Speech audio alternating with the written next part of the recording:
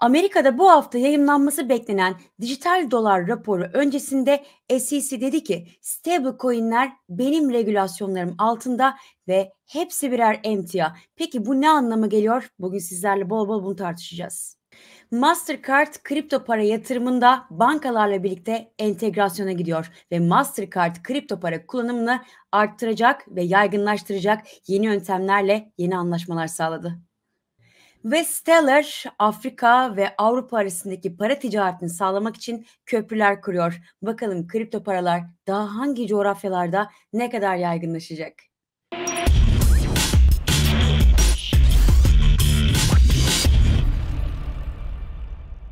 Herkese günaydın. Tarihlerimiz 26 Ekim günlerden salı. Adeta dün gece kıyamet koptu. Tabi biz de uyku uyumadık çünkü SEC'den bomba gibi bir rapor düştü. Çünkü stable coinlerin kendi regülasyonlarına tabi olduğunu ve onların birer emtia olarak kendisini ilgilendirdiğini söyledi. Peki biz bunu zaten bekliyor muyduk? Sürpriz mi oldu? Hayır. Bunu yaklaşık iki haftadır konuşuyoruz ve kripto paralardaki en büyük risk SEC'nin stable coinlere karşı olan tutumu olacak. Tabi bu rapor yayınlanmadan önce yani SEC benim tebaam altında olduğunu söylemeden önce ne yapmıştı? Tetere 42,5 milyon dolarlık ceza kesmişti. Açıkçası Amerika stable coinleri e, kendisine karşı bir tehdit olarak görüyor. Bunu bizler daha öncesinde bir önceki FOMC raporunda okumuştuk. FOMC toplantı tutanaklarında stablecoin'lerin sistem hakkında biraz daha tehditkar olduğu söylemleri ve guvernörleri korkuttuğunu raporda açık bir şekilde oturum metninde açık bir şekilde okumuştuk. Peki bundan sonra ne olacak? Çünkü stablecoin'ler eğer SEC'nin tebaasına girerse ve bununla birlikte stablecoin'lerin kripto paraları dönüştürmekte bir engel teşkil etti ve stablecoin ihraççılarına e, arda arda gelebilecek olan cezalar gelirse bu durum kripto paraları rahatsız edebilir ve sizlerle haftalardır konuştuğumuz o risk ortamı ne yazık ki oluşabilir ve kripto paralarda bir satışa neden olabilir. Bu satışın boyutu ufak veyahut da büyük. Bu dalgayı bilemiyoruz çünkü daha henüz rapor karşımıza değil. Ancak şu bir gerçek. Ne zaman geçen sene Aralık'ta Ripple'a dava açan SEC karşısında bu kadar büyük bir topluluğu bulabileceğini düşünmüyordu ve aynı şekilde SEC tepki toplamaya devam ediyor. Çünkü bazı stablecoin ihraççıları da SEC'ye dava açma yolunda ilk dilekçelerini dün geceden itibaren doldurdular. Yani ortalık karıştı. Adeta SEC bu anlamda kripto paralarda bir mikser gibi davrandı. Peki bundan sonra ne olacak? Bugün sizlerle bunu bol bol konuşacağız. Hadi başlayalım yine dop dolu ancak sizlere sadeleştirebildiğim kadar sade olarak çıkarmak istediğim bir bültenle karşınızdayız. Dün S&P ve Dow Jones'ta rekor hareketler gördük. Tamamen bilanço bazı hareketlerle birlikte aslında 3. çeyrek finansal sonuçlar sezonu gayet güzel geçiyor ve bu da risk iştahını yani yatırımcıların hisse senedi veyahut da daha riskli araçları almasına yardımcı oluyor. Bununla birlikte dün Dow Jones %0.18, S&P 500 %0.47'lik artış sağlarken Nasdaq ve Russell %1'lik artışlarla günü devam et, günü sonlandırdı ve Çin'e baktığımızda Çin tarafında ufak da olsa bir satış var. Peki bu satış devam eder mi? Açıkçası pre-opening yani açılış öncesi vadelilere baktığımızda Avrupa ve Amerika şu anda artıda. O yüzden Çin'deki bu gerileme muhtemelen yerel bir gerileme olabilir ee, ve risk iştahı bugün e, kripto paralar özelinde veyahut da genel olarak riski varlıklar özelinde olumlu olduğunu söyleyebiliriz. Yani bizden bu tarafa gelen negatif kötü bir e, rüzgarın olmadığını şu anlamda görüyoruz. Peki bugün ekonomik takvim neler var diye bakacak olursak bugün Amerika'dan yeni konu satışlarını alacağız. Bir de hazır Brentler ve hatta ham petroller 80 doların üzerindeyken Amerikan Ham Petrol Enstitüsü'nün verilerini alacağız. Bu özel veridir. Yarın da devlet verisi gelecek. Peki kripto ekonomik takvimde ne var diye bakacak olursak bugün ayın 26'sı bugün İkon'un 2.0 mainnet'i gelecek. Yarın ise Altair Ethereum'un güncellemesi gelecek. Bu ne anlama geliyor? Şöyle söyleyeyim. Mesela ağda çok büyük bir yoğunluk var ve bu ağdaki yoğunluğun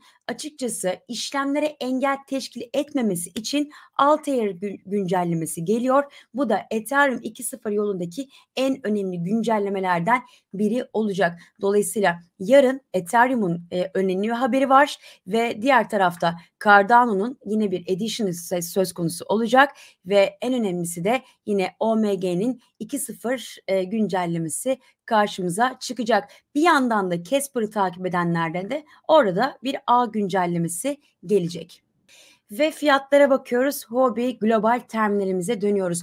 Bitcoin son 24 saat içerisinde 63.700 en yüksek, 62.209 en düşük olmak üzere şu anda %2'ye yakın kayıpla e, 62.500'ler civarında işlemlerini sürdürüyor. Ethereum ise tabi yarın güncellemesi olacağı için biraz daha olumlu sayıldı. Buradaki pozitif ayrışmada Ethereum'da 0.27'lik ufak bir düşüşle 4200 doların hemen aşağısında işlem görüyor. Huobi token tekrardan 9.98'in altına geriledi. Buraya bir parantez açmak istiyorum. Dün çıkan dedikodularda acaba Çin tekrardan yasağı kaldıracak mı dedikoduları çıktı. Ancak bunun şu anda çok gerçekçi e, olabileceğini düşünmüyoruz. Çünkü Çin'in bu anlamda karbon emisyonunu düşürme ve enerji kıtlığını düşünürsek Çin'in bunu yapması hani gerçekten yüzyılın U dönüşü olur ve Çin politikalarının ne kadar tutarsız olduğunu ortaya çıkarır. O yüzden bizler şimdilik bu dedikoduyu gerçekleşmeyecek olarak daha çok hani e, gerçekleşmesi muhtemel olmayan şekilde değerlendiriyoruz. O yüzden buradaki dedikodular eğer Huobi token'ı veyahut da Huobi token nezdinde listelenen e, coinleri belki pozitif etkilese de bunun devamlılığı gelmeyebilir. O yüzden burada hareket başlarsa bunun nedeni bu dedikodulardır. Fakat bu dedikoduların şu anda gerçekleşmesini beklediğimizi söyleyemeyiz. Ve devam ediyoruz. Kripto paradaki trend kuvvetlerine baktığımızda e, Bitcoin ve ADA biraz daha yavaşlasa da Ethereum ve BNB'nin daha kuvvetli olduğunu görüyoruz. E, açıkçası top 20 coinlerde neler daha zayıf diye baktığımızda e, Bitcoin, ADA, Sol, DOT ve ICP. Dün sizlere ilk defa ICP'yi konuştuk ve ICP dün konuşmamızın ardından %17 çıkış sağladı. Bu da bizleri mutlu etti. Çünkü cuma günü ZEC'den %33 vurduk. Dün de ICP'den %17 vurduk. O yüzden e, bahsettiğimiz bu coinlerin yükselmesi bizlerin de doğru çalışmalarda, doğru değerlendirmelerimizde olduğunu gösteriyor. Özellikle düşen piyasada yükselen coin bulmak daha zor bir meziyettir. Dün de bunu ICP sağladı. Hatta ilk 20 coin'de en fazla artan ICP oldu. Trendin en kuvvetli olduğu altcoin'lere baktığımızda Near'ın olduğunu görüyoruz. Nexo, Ren ve Phantom'un olduğunu söyleyebiliriz. Ve grafiklere baktığımızda tabii Bitcoin 67 bin lira yaklaşmasının ardından sürekli bir kar realizasyonuna uğradı. Ancak Ripple'ın şu anda yükseldiğini, Avax'ın yükseldiğini, Link'in ise yine yükseldiğini ama ufak bir kar realizasyonu yaşadığını görüyor, görüyoruz. Amerikan 10 yıllıklar 1.63'te, dolar bu sabah 9.57 seviyesinde işlemlerini sürdürüyor. Altın ise 1803 dolarda. E, açıkçası bu e, ay sonunda e, daha doğrusu Kasım ayında acaba tapering'e başlar mıyız başlamaz mıyız? Buradan gelecek olan habere bakıyor. Ve altcoin'lerde 246 milyar dolara çıktık. Fakat stakinglerde ve pool to pool'lara baktığımızda bu rakam 261 milyar dolara çıkıyor. Ethereum'da 2.0 güncellemesi yaklaştıkça buradaki yani kitlenen miktardaki rakam artışını sürdürüyor. Bu yüzden Bitcoin'in düştüğünü Ethereum'un ise ondan pozitif ayrışını görebiliriz. Zaten Avalanche gidiyor. Bunu dün de sizlere bahsettik. O zaman bir de sizlerle Algorand'a bakalım. Çünkü Algorand da biliyorsunuz ki akıllı sözleşmeler ağına eklenmişti. Orada ufaktan bir hareketlenme söz konusu. Bir de buraya Kava'yı ekleyelim. Çünkü Kava'yı da beğendiğimizi söylemiştik. Kava'daki artışta devam ediyor. Ufak da olsa yaklaşık ayın yani bir aylık bir artışta e, yaklaşık 417'lerden 550 milyon dolarlara çıkan bir e, Kava'yı görüyoruz. Yani Algo, Kava ve Avalanche aynı Ethereum'da olduğu gibi yükselişini sürdürüyor. Ve günlük çıkışlara baktığımızda Bitcoin'de 1.4 milyar dolarlık Bitcoin çıkışı gerçekleşti borsalardan. Ethereum ve Tether'de ufak çıkışlar var. Bu rakamlar çok önemli değil. Ve devam ediyoruz açgözlülük ve korku endeksinde. Şu anda Bitcoin alma hırsı normal seviyede. Yani bir kayıp veyahut da çok hızlı bir şişme, şişkinlik burada söz konusu değil. Zaten sentimentte 502'lerde şu anda e, çok önemli bir Bitcoin'e şişikliğin olmadığını görüyoruz. Ve en önemli haberlerden bir tanesi Mastercard Bakt'la yaptığı anlaşmada bankalarla birlikte kripto para entegrasyonu sunacak. Yani Mesela Mastercard kartınıza, harcamalarınıza kripto para ödülleri kazanabileceksiniz. Burada Mastercard'ın açtığı saklama hizmeti biliyorsunuz daha öncesinde ortaklık yapmıştı. Buralarda kripto para alabilecek ve kripto paraları da burada saklayabileceksiniz. Zaten Avrupa'da başlayan e, Visa ve Mastercard'ın demo kredi kartları çıkmıştı. Ben de bunların sırasına girmiştim. Harcamalarınızda kripto para kazanmak için buradaki kredi kartı ve banka kartları da yaygınlaştırılması düşünülüyor. Şimdi bu iyi taraf. Hadi bir de kötü tarafa bakalım. Hani önce iyi haberi verelim ardından kötüye bakalım. Yine bayağı bir hazırlık yaptık sizler için. Aşağıdaki e, pencereleri görüyorsunuz. Şimdi bu hafta Amerika'dan dijital dolar raporu çıkması bekleniyor. Açıkçası şöyle söyleyeyim. Çin'in bu kripto paralara ve madencilere yapmış olduğu yasaklarda önemli konulardan bir tanesi karbon emisyonu değildi elbette. Çin dijital yuan çalışmalarını bitirdi. Pilot bölgelerde e, oradaki vatandaşlarına dijital yuan dağıtıyor ve diyor ki harcamalarınıza bunları kullanın diyerek kendi e, açıkçası sistemini test ediyor. Peki Amerika ne yapacak? Amerika'da şu anda dijital dolar çalışmalarına başladı. Çin gibi hızlı gidip bunu bitirmedi elbette. Belki Amerika yasaklama fikri varsa bunu daha sonra yasaklayabilir. Ama şu anda bir yasak haberini beklemiyoruz. Bu da bizlere açıkçası aynı şişenin e, şöyle söyleyeyim sizlere. Mesela şişenin dolu kısmı ve boş kısmı olarak düşün. Daha halen de boşluk alanı var. Bu da bizlere nefes alacak alan sağlıyor. Ancak bu nefesi burnumuzdan getirir mi? Açıkçası biz bunun derdindeyiz. Ee, ve Stek'in de tavrına baktığımızda bunu biraz bizim burnumuzdan getirecek gibi duruyor. Fakat SEC'ye karşı çok büyük bir güven kaybı var ve çok büyük bir tepki var. Neden? SEC kendisini belki biraz da güç zehirlenmesi yaşadı ve ne yaptı? Ripple'a yıllardır e, sen ne bir e, emtiyasın, sen ne bir menkul kıymetsin sınıfına koymadı. E, 2013'ten bu yana Ripple'ı adeta arafta bıraktı ve sonra geldi 2020 Aralık ayında gitti Ripple'a dava açtı. Benden izin almadan 2013 yıllarında sen Ripple sattın ve bu bir menkul kıymettir dedi. Açıkçası SEC kendi güç zehirlenmesinden göremeyecek oldu ki bu kadar tepki çekeceğini beklemiyordu. Şimdi ise stablecoin'leri dizginleme yoluna geride adeta ve dedi ki bunlar birer emtiadır ve dolayısıyla bu stablecoin'lerin nasıl denetleneceği konusunda e, ve ne yapacağı konusunda SEC'ye bağlıdır dedi. Bunun da e, en büyük argüman bir teter bir dolara eşit ve sen bunu bir değişim aracı olarak kullanıyorsun dedi. Yani argüman tamamen bir, bir USD bir USDT'ye eşit diye mesela oradan çıktı. Ancak şunu da söylemek gerekirse e, birçok e, ihraççı, stablecoin ihraççısı şu anda SEC'ye karşı e, dava açma yoluna gidecek. Açıkçası e, SEC ne yapmaya çalışıyor?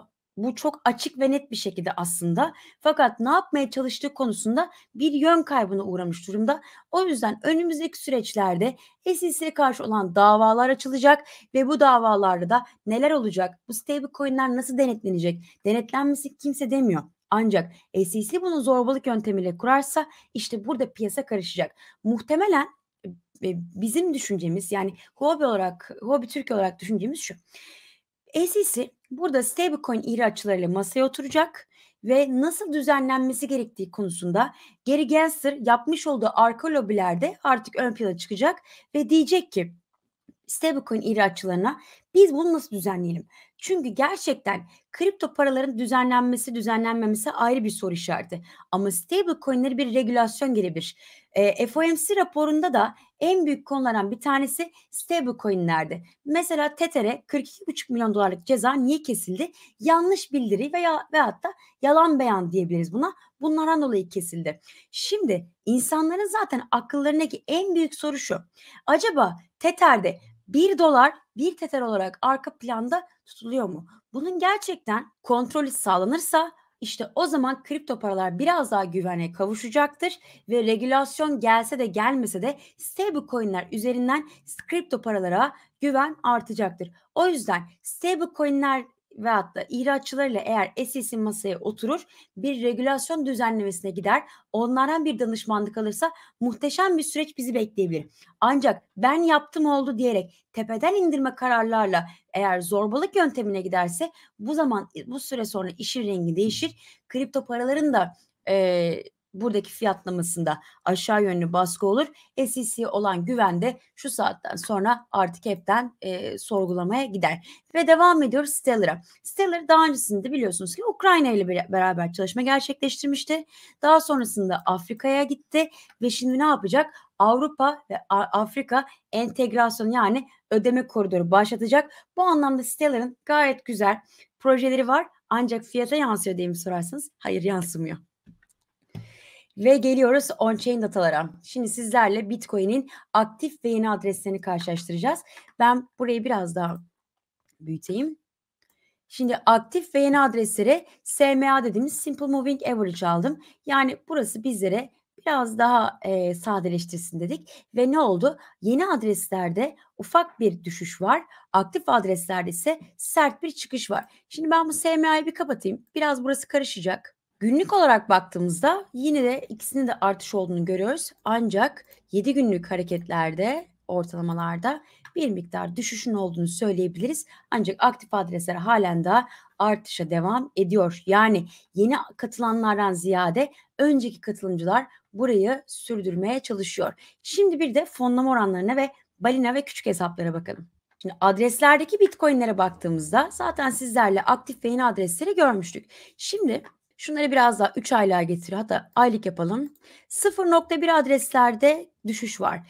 100 ve 10 üzeri adres 10 ve üzeri adresler düşüş var. 100 üzeri adreslerde bir miktar alış var. Fakat 10 bin üzeri adreslerde de yine alış var. Yani burada büyük rakamlarda e, kripto paralar toplanmış 60.800'e geldiğinde bakın şurası 60.700 Burası da 60.700 ve 60.800'lerde 10.000 ve 100 üzeri cüzdanlar Bitcoin toplamışlar. O yüzden sanki burayı biraz ucuz diye değerlendirip kendi portföylerine, kendi cüzdanlarına almışlar. Peki future'larda ve opsiyon fonlamalarında ne oldu diye bakacak olursak Fonlama oranlarında ufak da olsa bir gerileme var ancak artış devam ediyor. Peki bu artış devam ederken hacimler ne yapmış? Hacimler de biraz daha ufak da olsa artmış. Bakın sizlere daha öncesinde şunu söylemiştim. Fonlama oranları düşerken hacim artıyor. Bunun tek bir neden olabilir. Piyasadaki satış kontratlarının arttığını söylemiştik ki nitekim 67 binden sonra Bitcoin aşağıya gelmişti. Şimdi ise fonlama oranları gayet düzeyli bir şekilde devam ediyor ve devam edecek olursak dün borsalardan daha doğrusu son iki gündür borsalardan çok sert bir çıkış var. Bunu görüyoruz. Peki bu sert çıkışın acaba ne anlama geliyor olabilir diye baktığımızda e, stablecoin bitcoin rasyosuna burada dikkat etmek gerekiyor. Şimdi burayı biraz iyi dinleyin. Çünkü burası gerçekten bu gerçekten güzel bir veri. Şimdi baktığımızda stablecoin'lerin Bitcoin'e dönüştüğünü görüyoruz. Yani piyasaya bir stablecoin girmiş veya da cüzdanlarda olan stablecoin'ler Bitcoin'e dönüşmüş ve Bitcoin'e şu price'i kapatalım. Bitcoin'e dönüşmeye de devam ediyor. Öyleyse bir de stablecoin rasyolarına bakalım. Şimdi tüm borsalardaki stablecoin miktarları girişlerde bir azalma var adet olarak. Ancak totalde ise yine stable coinlerde azalma var. Bu stable coinlerdeki azalmanın da Bitcoin'e döndüğünü görüyoruz. Öyleyse bizlere şunu doğruluyor. Şu anda piyasa Bitcoin'lerini stablecoin'e geçmiyor. Veyahut da stablecoin'lerini ileride alırım diye hazır tutmuyor. Piyasa şu anda stablecoin'lerini Bitcoin'e çeviriyor. Zaten eee, sizlere şurada da göstermiş olduğum gibi adreslerdeki, büyük adreslerdeki 100 ve 10.000 ve üzeri adreslerde de Bitcoin alımları da sürüyor. Aynı şurada olduğu gibi. Bu yüzden şu anda piyasa açıkçası yeni bir yükseliş hareketi sanki bekliyor. Yani daha doğrusu senaryo daha çok buraya ağırlık vermiş gibi duruyor. O yüzden bu anlamda e, SEC'den eğer bizleri bozacak bir tavır gelmezse piyasa buradan alır götürür. E, en fazla 55 binleri aşağıda görebiliriz. Ardından da zaten e, 60 bin ve 55 bin arası olan koridorda zaten akıllı yatırımcı ne yapar? Kademe kademe girer alışını sürdürür. Ha olur da 55 bine gelmezse en azından 59 bin 60 bin arası bir yerlerden ufak da olsa yakalar. En azından yükselirken de görür kendisine bir fon yaratır. Yükselirken de 55 bin alamasa bile 61 bin 62 binden alır diyelim. Şimdi dün ne yaptı? ProShares ETF'leri ve Volcker ETF'leri dün biraz seans içerisinde yükseldi. Ardından biraz geri çekildi. Peki Bitcoin ne yaptı? Bitcoin 63.400'ü kıramadı. Dün sizlerle olan yayınımızda şunu söylemiştik. 63.400'ü kıramazsa burası oboya dönebilir. Eğer burası oboya dönerse burası bizlere yüzde 9,5'luk gibi bir rakamla yaklaşık 55 binlere kadar bizleri sürükleyebilir. O yüzden Bitcoin'de halen de OBO ihtimali geçmiş değil. 63.400'ü kırdığı anda isterseniz satışlarınızı kapatın. Biliyorsunuz ki Huobi'de açığa satış yapabiliyorsunuz. İsterseniz satışlarınızı kapatın. Yani burası satışların stop loss'u. E, geri çekilmelerde de 60 bin ve 55 bin ise spotta kademeli alım yerleridir. Ha, vadeli yapıyorsanız da zaten öyle bir aralık 5 bin olarak gibi bir aralık zaten söz konusu olamaz. En azından biraz daha 59 bini beklersiniz vadeli için buraya bakarsınız. Ancak spotta işler başka, spot trading bambaşka. O yüzden 63.400 bizim kader çizgimiz olsun. Devam ediyorum Ethereum'la. Ethereum'un yarın mainnet güncellemesi gelecek. Altair öncesi bakın üçgeni kırdı. Burayı siliyorum. Ve devam ediyorum. Burası sanki bizlere yeni bir yeni bir e, kanal oluşturmuş gibi duruyor ve bu kanal içerisinde şu anda orta nokta olan 41.080 e, daha doğrusu 4180 bölgesine tutunmuş gibi görüyoruz. Fakat biraz daha kısa vadeli almak isterseniz de kısa vadeli de şöyle alabilirsiniz. Başladığı dipten alırsınız Şöyle bakarsınız. Bakın biraz aşağısa sarkma var. 4190 tutunursa ne ala zaten burası da Fibonacci'nin en önemli düzeltme noktası olan %61.80'lik dilime geliyor. Neden en önemli? Çünkü Fibo sayılarında en fazla tekrar edilen sayı 0.618. Yüzdelikte 61.80. O yüzden e, şu anda e, Ethereum biraz daha kıymetli gibi duruyor. E, 4150, 4180 bizim desteğimizdir. Burasını eğer kırarsa bekleyin 4000'lere kadar kendisini salabilir. Buralardan toplamaya başlarsınız. Ancak Ethereum'dan yarın Altair güncellemesi çok önemli. Burası Ethereum'u alır götürür. O yüzden düşüşlerde de çok panik olmamak lazım. Şimdi dün ICP sizlere önermiştik. Dün 25 Ekim'de sabah 8'de yapsak 43.80'lerdeydi. Zaten 40 44.30-45'lerde benim alarmım vardı. Şimdi alarmı kapat çok çaldığı için alarmı kapattım. Öyle rakamı unuttum. Ama dün biz sabah 8'de buradaydık. Nereye kadar çıktı? %18'e kadar çıktı. Hadi siz bunu %10'la yakalayın. Dün piyasa %10 gitti mi? Hayır. ICP'nin gerçekten e, bu açıdan e, iyi bir projesi var. Bu yüzden ICP'yi gelecekte de değerlendirmeyi düşünüyoruz ve artık konuşmaya başlayabiliriz. Çünkü ne yaptı? ICP şuradaki hadi şu şöyle alalım. 47'lerden alalım. İkili dibi başlattı. İkili dibinde hedefi %12'dir. Kırdığı yerden %12'dir. 47 40'tan kırdı. %12 saysam burası 53 dolarlara kadar yolunun olduğunu görüyoruz ICP'de. Ve devam ediyorum Polkadot. Polkadot bayrağı ben uzatıyorum dedi. Burada biraz bizlere gıcıklık yaptı. 39.70'lerde tutunursa burası yeniden 44.97'lere gider. Kaldırıç için muazzam bir aralık. 44.97'leri de kırarsa burasının 56 dolara kadar yolunun olduğunu söyleyebiliriz. Ve AVAX'a bakıyoruz. AVAX 71 doları gördü. Şu anda buralarda bakın 4 saatliği Bollinger açıyorum. Burayı biraz esnetmeye başladı. Olur da piyasa geri gelirse AVAX'ın bu anlamda 65 dolarlara kadar bir hareketi söz konusu olabilir. Zaten osilatörlerde de kendisinin aşırı e, alışlarda olduğunu görüyoruz. Hadi bir de e, trendde miyiz, indikatörde miyiz, yani trendde miyiz, yatayda miyiz diye baktığımızda sanki burası biraz da trend gibi duruyor. O yüzden biz burayı 65'ler olarak değil, şöyle sizlerle beraber çizelim. Hani yataydaki 65 Bollinger olarak değil, trenddeki 65 olarak baktığımızda o yüzden AVAX'ta acele etmeyelim. Ufak ufak alınabilir çünkü 70'in üzerine tutulması Fibo seviyesine oturması anlamına geliyor. Ancak 65'e de gelirse en azından şurada alabilecek bir fon kendinize bir köşeye ayırın. Düşecek anlamına gelmiyor. Geri çekilme olasılığı anlamına geliyor. O yüzden satış yapmayın. Hani e, düşerse nereden alırım diye bakın. Mantık bu olsun. Aa geri gelecek mantığı olmasın. Ve devam ediyoruz Kusama'yla. Dün sizlere ICP'den bahsettik. Bugün ise sizlere bir de Kusama'dan bahsedeceğiz. Çünkü Kusama'da bir oyun coin'idir.